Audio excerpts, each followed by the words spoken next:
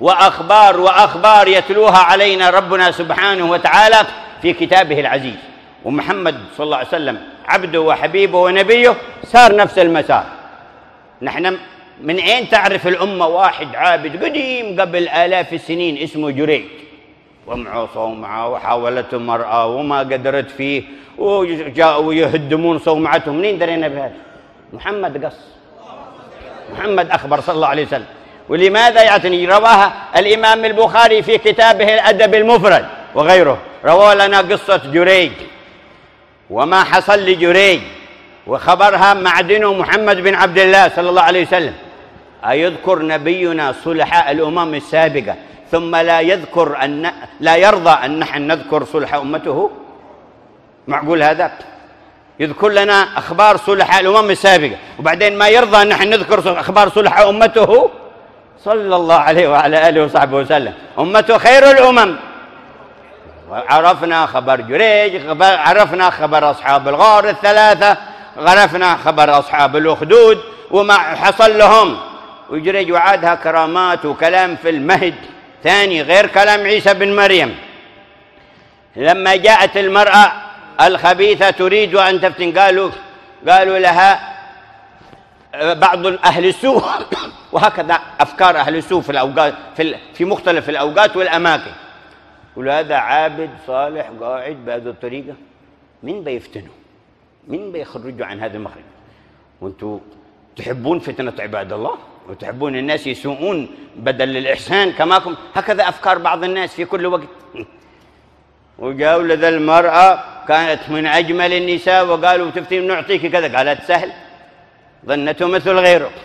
وجاءت عند صومعة ولم يلتفت إليها ولم يفتح لها ولم يسمع إلى كلامه في عبادته.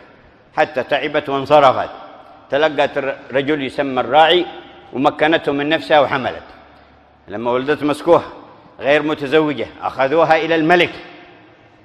وعاد الملوك في تلك الأيام أحسن من أهل الانحلال في زماننا اللي يسمون نفسهم متحضرين متقدمين. أه؟ صلح ما شئت ما دام بتراضي حلال أعوذ بالله. وعاد جابوا خبر ما عرفته الأمم السابقة. قوم فقط مميزين اسمهم قوم لوط. خسف الله بهم الأرض. وجعلهم عبرة لمن اعتبر. فلما جاء أمرنا جعلنا عاليها وأمطرنا عليها حجارة من سجيل منضود مسومة عند ربك وما هي من الظالمين ببعيد. هذه الأمة شذت وحدها. جاءت الحضارة حقنا تصلح للشذوذ هذا تتقفز قفزة. وتصلح للشذوذ عادوا قوانين وتدعو الدول حقها خرجوا قانون زواج مثليين. نعوذ بالله كلام يستحي العاقل أن يذكره وأن يت... إيش هذه الخسة؟ إيش هذا السقوط؟ هذا انحطاط الإنسان وقت التحضر والتقدم وحقوق الإنسان. هذا الخباثة والتعاسة والوصول إلى أبعد أبعد الحدود في السقوط والعياذ بالله تبارك وتعالى. لكن كان الملوك يأخذون على هذه الجريمة. مسكوها من منين جبت الولد قالت جريج. تكذب على جريج العابد. وجريج العابد في السماء قال ها؟ هذا الذي يصلح نفسه من العباد. كسروا صومعته هاتوه. خرجوا دقدقوا الجنود. ما لكم قال إيش مالكم؟ تعال لهنا. إيش معكم كيف تكسروا سمعتي؟ قالوا أنت خبيث تعمل أعمال. قال ما إيش ما, ما عملت شيء. قالوا تعال. هذا المرة دخلوه إلى عند الملك مر على النساء اللاتي حبسن من أجل هذه الجرائم. وتبسم لأنه سبب وصوله لهنا دعوة من أمه. يصلي وأمه يا جريج يا جريج هو يقول يا رب صلاتي يا أمي. فاختار يستمر في الصلاة وترك أمه مدة وهي تصيح عليه. لما ابطى عليها قالت لا أماتك الله حتى يريك وجوه المومسات شوف وجوه الزانيات. هذه يعدونها مصيبة والعياذ بالله تبارك وتعالى. وذا المصيبة بعض الناس يدورها لنفسه.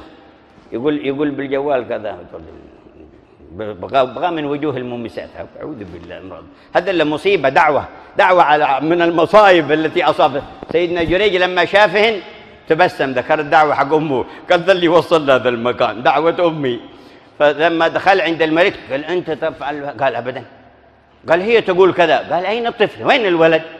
طفل صغير. جاء. من ابوه قال الراعي ذهلوا قال صلى الله عليه وسلم في تعبير النبي فيما رواه البخاري في كتاب الأدب المفرد. فأقبلوا عليه يتمسحون به. صوفية.